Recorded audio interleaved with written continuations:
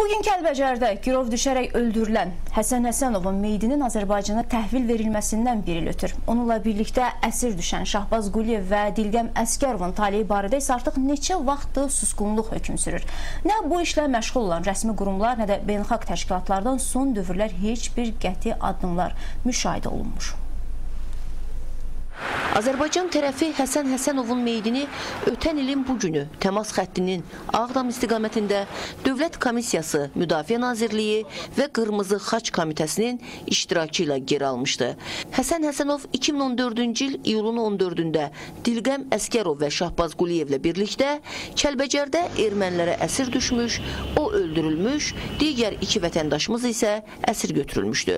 Bir ildən artıqdır ki, Həsən dünyada yoxdur. Bir ildən artıqdır ki, onun anasının göz yaşı qurumur və bir ildən artıqdır ki, Dilqəmlə Şahbazın günahsız olduğunu dünyaya sübut edə bilmirik.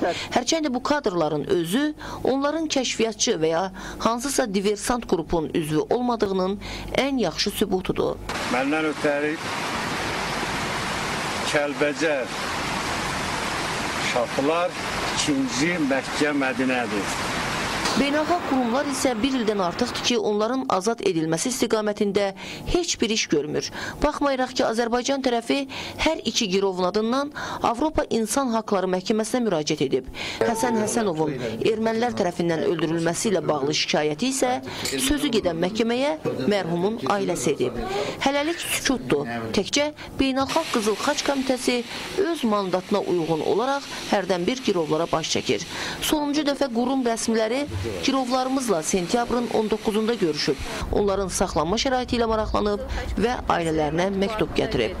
Onların qapısı nə vaxt açılacaq və ümumiyyətlə açılacaqmı, bunu heç kim bilmir. Çünki qondarma məhkəmə birinə ömürlük, digərinə 22 il iş kəsib.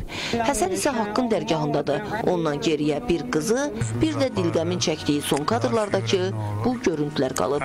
O kameraya sadəcə əl yelləyirdi. Bilmirdi ki, ki hayatıyla da vidalaşır.